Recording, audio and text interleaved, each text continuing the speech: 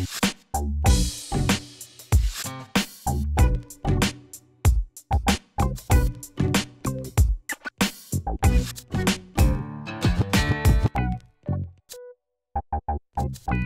Yeah, talking good and stuff. Um, so I spoke. Uh, are we going here? I guess um, I spoke at X World uh, three years ago, and that was the first time I spoke publicly at any event, and I was absolutely awful.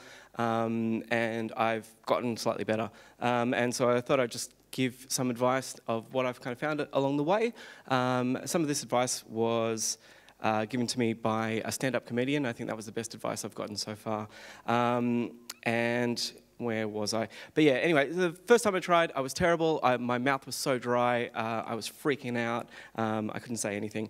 Um, one of the things uh, this stand-up told me to do was to look around the audience, and you know, you, always hear that thing of like, imagine them in their underwear.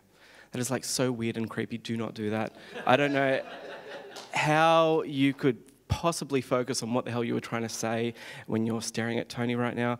Um, the other thing to do though, so, so yeah, what the stand-up said was um, to look for allies in any room. Uh, you're going to have allies in the audience. People don't want you to fail when you're up on stage. They actually do want to hear what you what you've got to say, and they're interested in it. So you just kind of look around the room. You find, of course, there are some people like John on his bloody laptop, but there are a majority of the people who are kind of engaged and listening. And so you find those kind of allies who are in the in the audience who are giving you a smile, and you focus on them, and you just talk to them just for a minute or two until you feel a bit more confident, and then you move on to the next ally. You find them in the no, not Cameron. Uh, you just find those people that will help you uh, speak. Uh, and, and it's been the best advice I've ever, I've ever been given about that kind of uh, getting past that, that anxiety.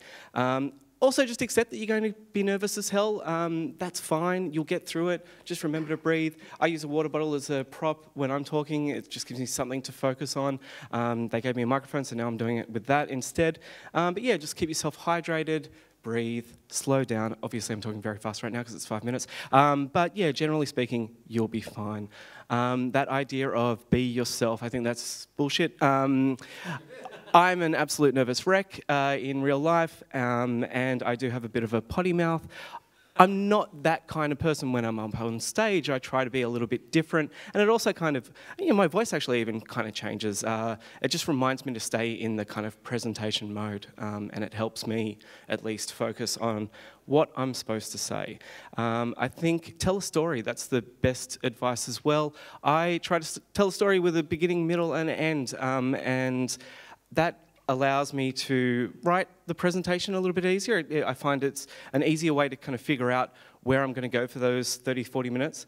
Um, and it also stick to the tone of whatever the story is you're telling. So uh, in my, you know, obviously I decided a couple of days ago that I would focus on my slides all just being pictures from movies.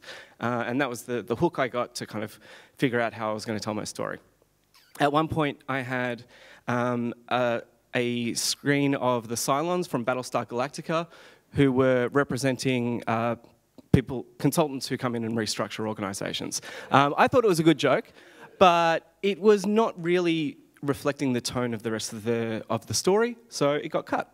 Um, one other thing I really, really like, uh, um, what's his name? George Miller from uh, Mad Max, director of Mad Max. When he cut Mad Max, he cut all of those amazing uh, adventure scenes uh, without any audio at all. And then once he felt that they were dynamic enough and interesting enough without audio, then he added it in as, as the kind of you know, sprinkling on top.